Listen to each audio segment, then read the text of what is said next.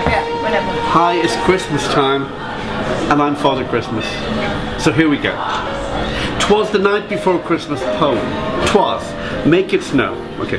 Twas the night before Christmas when all through the house not a creature was stirring, not even a mouse. The stockings were hung by the chimney with care, in hopes that St. Nicholas soon would be there. The children were nestled, all snug in their beds, while visions of sugar plums danced in their heads. And Mama in her kerchief and I in my cap had just settled our brains for a long winter's nap. When out on the lawn there arose such a clatter. Oh listen, get David Walliams, I'm not doing this anymore. Oh yeah, see you next year. Happy Christmas. Happy Christmas.